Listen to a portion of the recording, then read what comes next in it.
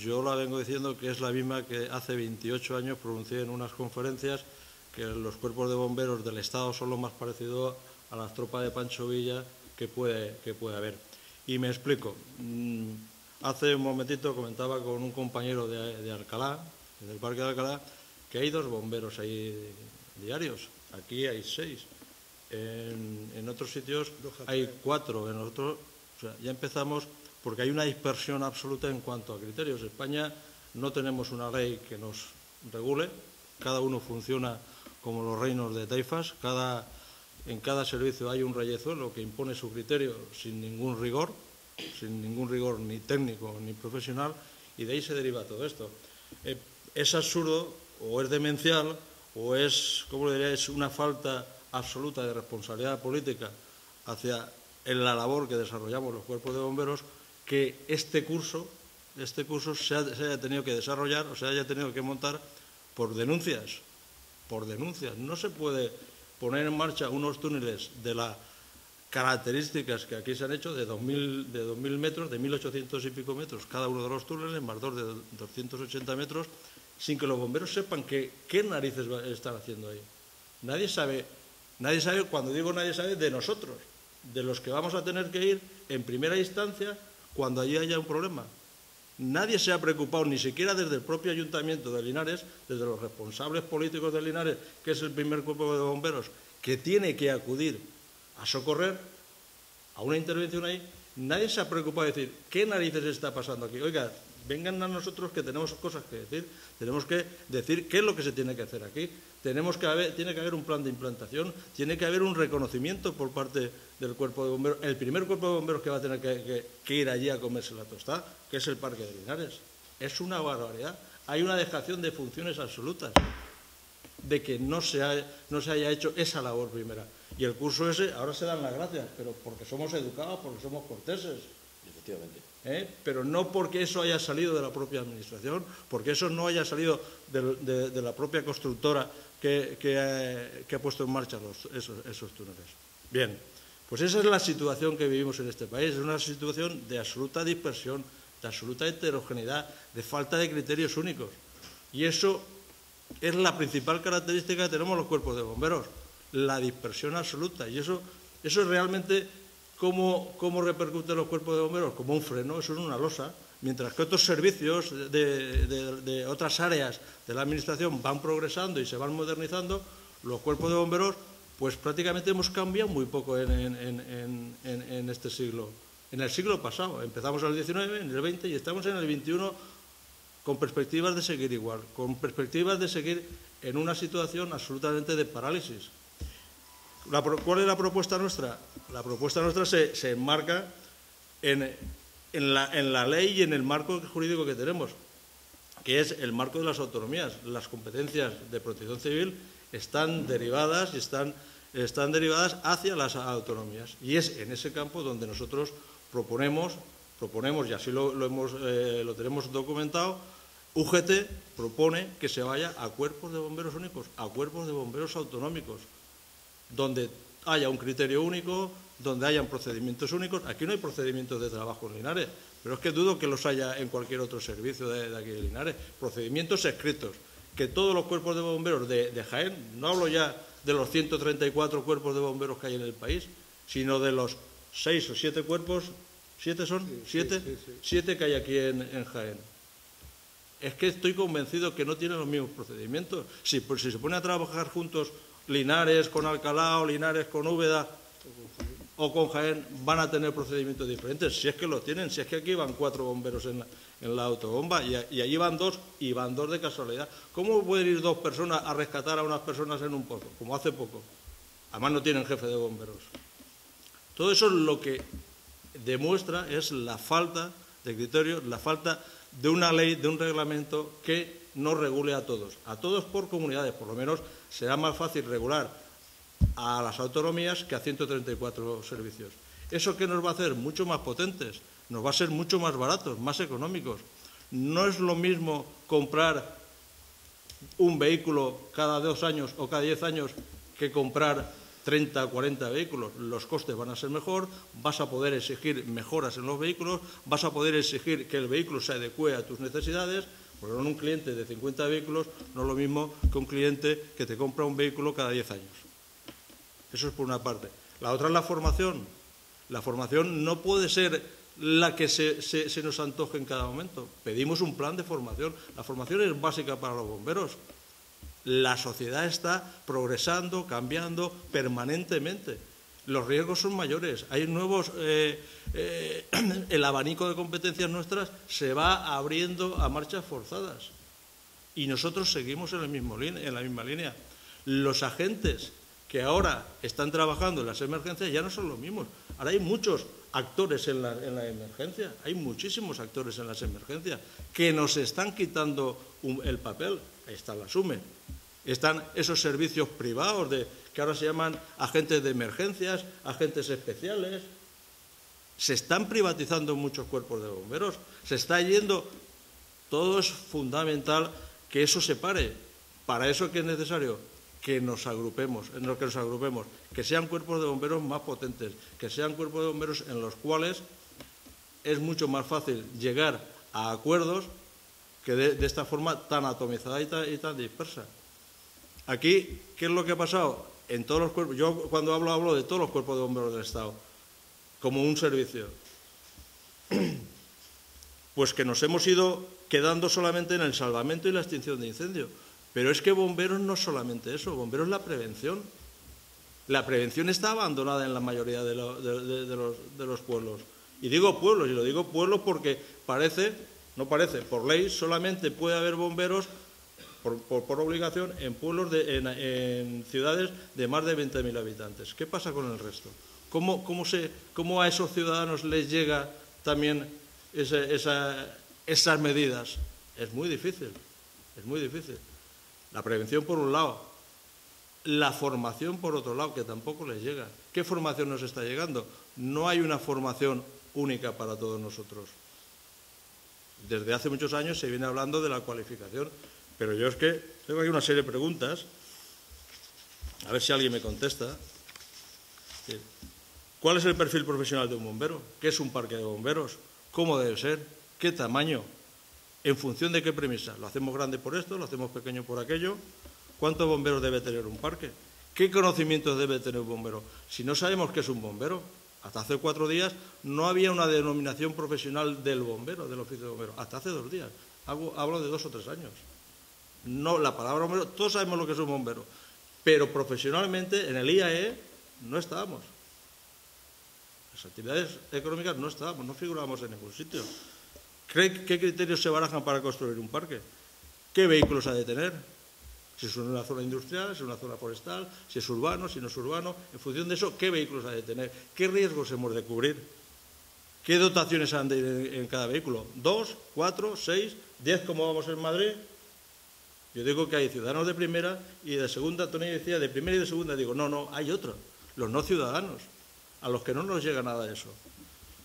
¿Existen protocolos de actuación? Juan me estaba pidiendo hace poco, oye, si tienes procedimientos, házmelo llegar para que los veamos, los acomodemos aquí a, nosotros. ¿Qué pasa? ¿Solamente tenemos derecho a tener procedimientos los, los cuerpos potentes, los cuerpos grandes, a funcionar con unos, con unos cánones de calidad y de eficacia por encima? Yo cuando dicen, es que los bomberos de Madrid son la hostia, y, y, perdonadme la expresión, no es que seamos la hostia, es que vamos 10. En Alcalá van dos, ¿Qué eficacia se puede pedir? ¿Se puede medir la eficacia igual? No se puede medir igual, no es la misma. En absoluto. Bastante hacen con sacar a flote dos bomberos un siniestro. Bastante. Esos sí son héroes, no nosotros. Las, comunicaciones son compatibles, no son compatibles las comunicaciones que tenemos. ¿Cómo nos integramos con, el resto de servicios de emergencia? Ahora, como digo, somos muchos los agentes. Ahora ya se ha convertido en algo muy transversal. Muchos somos los que trabajamos en las emergencias. Nos estamos quitando el, pastel de las emergencias. Nuestro rol, poco a poco, se va viendo mermado porque están surgiendo otros, otros agentes. Eso, ¿cómo se, ¿cómo se evita todo eso? Tiempos de trabajo, tiempo de descanso. En unas son 24 horas, en otros trabajan a 8, en otros 12, en otros hacen 60 guardias, en otros hacen 70, en otros de 24. Las categorías. Las categorías. Pues es que en, la Comunidad de Madrid somos seis cuerpos de bomberos con seis con categorías diferentes. Lo que es un cabo aquí es un jefe de grupo, en el otro es un jefe de, vehículo, en otro para la misma categoría. La misma categoría tiene nombres diferentes, tienen diferentes grupos administrativos. En uno están en el, en el C, en el otro está tal, con un nivel. Es una barbaridad. Ya está bien. Desde UGT estamos diciendo a todo eso, ya está bien. Seamos capaces de ir hacia algo, de ir aglutinando, de ir uniformizando, de ir estandarizando los cuerpos de bomberos, porque creemos que los bomberos se lo merecen, pero también se lo merecen los ciudadanos. Yo creo que eso es un abanico, no quiero daros más la... porque creo que es más interesante que hagáis preguntas y sobre las preguntas, si las hay, pues nos podemos... Pero la idea, la idea yo creo que está, que está clara, que es acabar con esa atomización de, de los cuerpos de bomberos, acabar con esa atomización porque se van a unificar los procedimientos operativos, unificación de los procesos de formación, se van a mejorar los conocimientos técnicos de las diferentes organizaciones que trabajan, vamos a tener una mayor competitividad económica, se van a mejorar y potenciar todas las unidades especiales que tengan los diferentes servicios, se va a ampliar el abanico de, competencias, se va a hablar de una promoción de la carrera. A los bomberos parece que eso no nos llega, las administraciones no tienen interés en ello se van a, cubrir mayores riesgos, se va a mejorar la organización, se va a mejorar eh, el mando y control en siniestros y se va a universalizar la prestación del, servicio. Yo creo que esos serían los grandes, los grandes beneficios que se obtendrían. Hablamos de costos, ahorrar costos, mejorar la calidad, mejorar la calidad la calidad, mejorar la, eficacia. Yo creo que estamos hablando, no estamos hablando de lo que siempre nos acusan, de ser peseteros, de querer ganar dinero, sino estamos hablando de todo lo contrario, de dar mayor calidad y mayor seguridad al ciudadano, que en definitiva es realmente a quien, le, a quien nos paga a nosotros y a quien nos debemos. Porque como decimos últimamente, los bomberos rescatamos personas y no rescatamos bancos. Nos debemos al pueblo, sobre todo. Y esto es lo que... Eh, participar en un foro provincial a la hora de el diseño y de unificar los criterios. En esa línea estamos, estamos trabajando, nos están escuchando. Creemos que es eh, malo para la ciudadanía, para el servicio público que presta la administración local, dicho sea de paso, la administración más cercana a los ciudadanos, que ese servicio no se presta con las mismas garantías, como tú bien expresabas antes, dependiendo del pueblo en el que vivas. Eh, si ponemos el ejemplo en Andújar, el Parque Comarcal de Andújar, ahora en, las inundaciones que ha habido, en los primeros sitios que han estado siendo Andújar, en la localidad de Andújar. ¿Cómo han llegado al resto de los municipios? Es una dificultad la unificación de los criterios. Sabemos que tenemos mucho trabajo que hacer, sabemos que nos están escuchando, pero no es suficiente. Necesitamos estar permanentemente informando a la sociedad de que los servicios públicos no están en venta.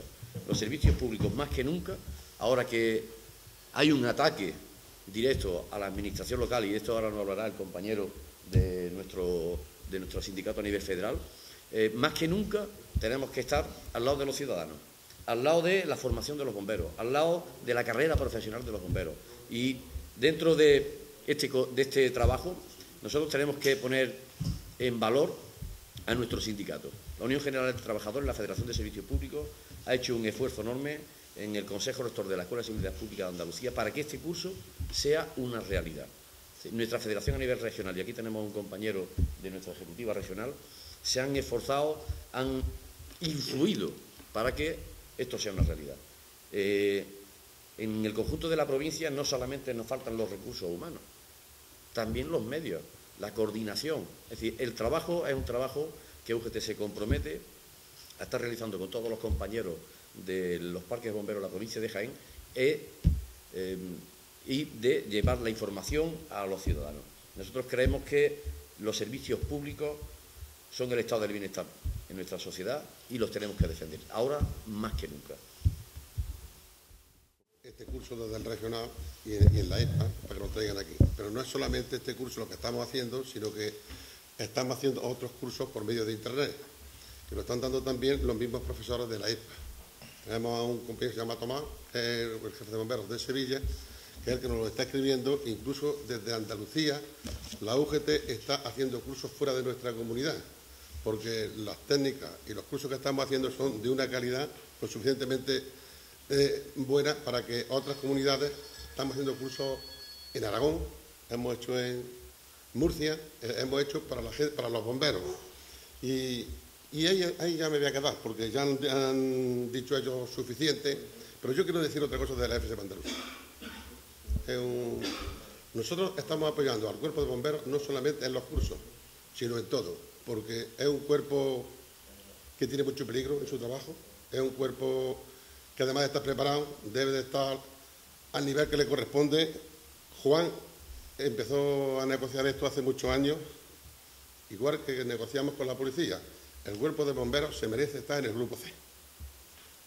Hay sitios que están en el grupo C, otros que están en el grupo D, hay un descontrol terrible. Pero desde la FSP Andalucía estamos trabajando con el gobierno andaluz, con la Consejería de Gobernación, para que esto suceda. Tardaremos más, tardaremos menos, como los policías en su tiempo, pero eso llegará y será la UGT la que lleva esa bandera para todos los bomberos de Andalucía. Es una reivindicación que la tenemos, la seguiremos haciendo y debe, y debe de llevarse a cabo lo antes posible, ya que es una reivindicación justa, no es una reivindicación que cualquiera se la metió en la cabeza para hacerla. No, es un profesional que hace falta esa, esa clasificación en su puesto de trabajo y se lleve a cabo. Yo eso es lo que quería decir y ya lo hemos dicho claro pero que sepan los bomberos de Jaén y de Andalucía. La UGT va a estar ahí para defender sus intereses. Y lo único que le pido a los bomberos que se enteren de esto que, dice la UGT, que estamos ahí y esperamos su apoyo. Que no somos un sindicato corporativo solo de ellos, somos de, todos de toda la administración autonómica, local y de todo.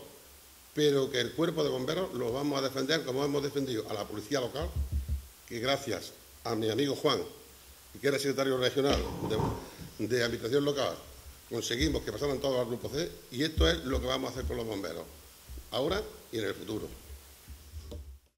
El, papel de la Secretaría a nivel federal, de UGT, de FSUPD, de la Secretaría de Local, entre otras cosas, eh, nos está tocando ahora mismo llevar una campaña en contra de la nueva ley que ha sacado el Gobierno, la ley de racionalización y optimización de la Administración local. No sé si habéis oído hablar, que ha tenido se presentó en el Consejo de Ministros de hace un mes y ahora mismo está paralizada y han perdido el Gobierno una oportunidad de hacer eh, lo que Chimo nos ha estado comentando, que hubiera sido el intentar implementar ahí y unificar los criterios para todos los cuerpos de bomberos, unos criterios estándares de calidad. No lo ha hecho y, lo que ha hecho es todo lo contrario. Eh, para que sepáis, simplemente voy a decir cuatro cifras a grosso modo. Hay 8.800 ayuntamientos en todo nuestro, nuestro país, de los cuales eh, al menos 4.000 son de menos de 5.000 habitantes. En todos esos ayuntamientos la ley contempla de que si no son rentables, que no lo son, porque prestar servicios a los ciudadanos no son rentables, eh, se quedará el nombre de los ayuntamientos, pero perderán todas las competencias que nosotros imaginamos que la darán a empresas de gestión de servicios. Entonces son unos datos eh, importante es que lo sepáis. Los municipios eh, de entre 5.000 y 20.000 habitantes, la mayoría también van a perder las competencias, eh, sobre todo la educación, servicios sociales y, mm, ahora mismo no, recuerdo la, otra gran, educación, sanidad y servicios sociales. Son las tres competencias que van a perder también. Quedarán los nombres y pasarán, si, si no son rentables, que no lo son, pasarán a la gestión de las comunidades autónomas. No sabemos tampoco si harán esto con los cuerpos de bomberos, que tampoco son rentables tal como están configurados ahora. Con lo cual, vuelve a perder el Gobierno otra oportunidad de eh, regular y organizar el papel de nuestro Estado dentro de la Administración local, que es la más cercana.